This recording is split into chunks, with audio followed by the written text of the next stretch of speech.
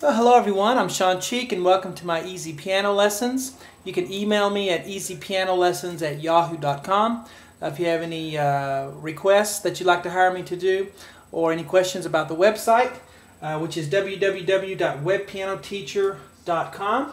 I'm also on Facebook. if you want to look me up on there, I've got some videos on there and some, some printouts of the whiteboard.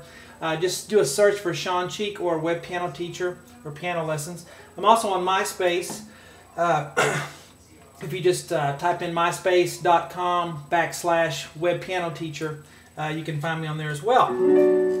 Um, we're doing Hello by Evanescence here today, and uh, we have the part one right here, and the, the rest of the song uh, will only be on the website uh, www.webpianoteacher.com. So, uh, those of you who are members, you can uh, get on there right now and check it out. Here's part one, and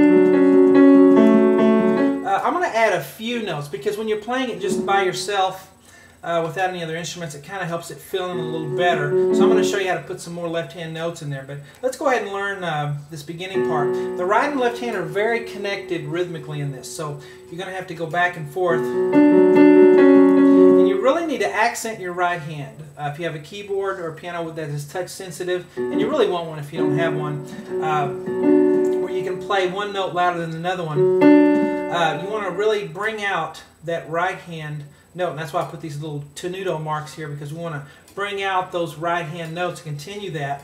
Because the melody in the in the piano part is bum bum bum bum bum bum bum. And then so you want to bring that out. And the left hand, you can accent maybe the bass note, the very first low note, and then then this F sharp right here is just kind of to fill in the rhythm in between. So not too loud on the left hand. Going to start with a B way down here. And then we're going to, uh, with a pinky, and then we're going to go to F sharp. Now here's F sharp, this black right here on the left side of three blacks. Okay? And then after that we're going to play a D in the right hand. Right here, and bring it out. Okay? A little bit more pressure on that note. And then we're going to play that F sharp in the left hand here, softly. And then we're going to play the right hand D again. And then we're going to do... Uh, uh, C sharp here in the right hand, and then an F sharp here in the left hand, and then a C sharp in the right hand, and then A, A, two A's, and then back up to C sharp. Now, this is all I hear when she's doing it. There's not really much left, left hand in there, but if you wanted to put this F sharp in between every note like this, put an F sharp here,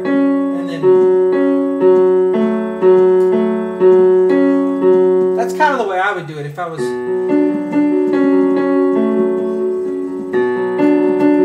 just play it really soft because I wrote what, what I hear because I want you guys to have you know what I hear on the recording uh, the soundtrack. But I really like some more F sharps in there and you can even put some octaves in there if you'd like. Uh, and play it you know play it up an octave here and just do the same right hand notes and okay so I'm doing two D's and then two, you know, two C sharps, two C sharps, A, A, and you can do it here too. You wanted to fill it out. Uh, but anyway, this first little section has a lot of left, right, left, right.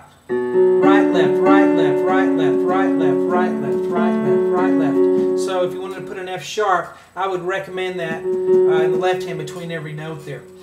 Now, continuing on, melody. We hear that left hand start. We hear bum, bum, bum. All right?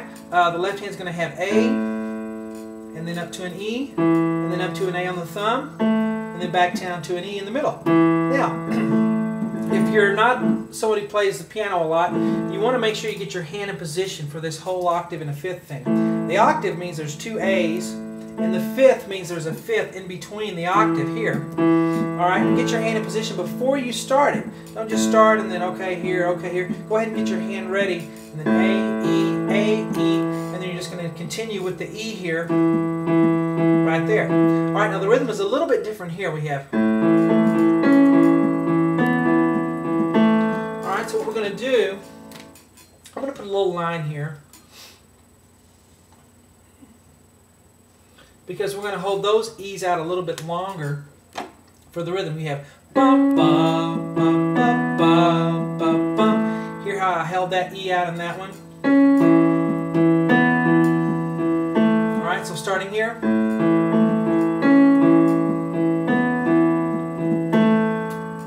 Okay, um, and while we're while I got the marker out here, let me go ahead and put little lines here down where you can put notes in between those F sharps. Okay, so everywhere I put a little hash mark there, you can play that F sharp again. So you have there, there, F sharp, F sharp. Okay, so you'll know where to play it. Uh, but starting here again, we're going to play just a straight eighth note rhythm. And then when we get here to this E, we're going to hold it for a quarter note and then hold this one for a quarter note as well. So starting here, the rhythm is bum, bum, bum,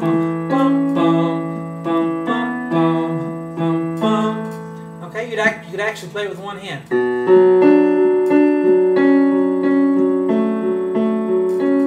And then I forgot to mention, we repeat that. See the repeat sign? Every time you do this riff, you're going to do this part two times. So repeat back and do this again.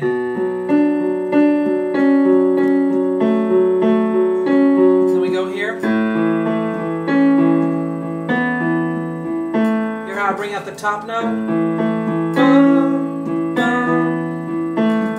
So that's pretty much it for the opening. Part two contains the rest of the song. Uh, I do it in uh, four lines on the next board, so you get all all the rest of the piano part on that song in part two on the website.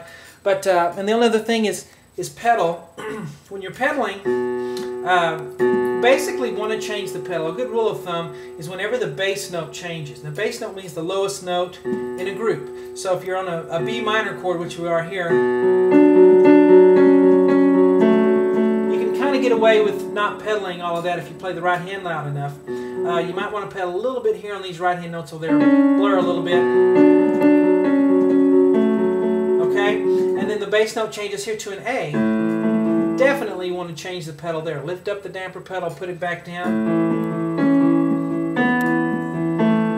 Okay? And uh, so we're doing this two times.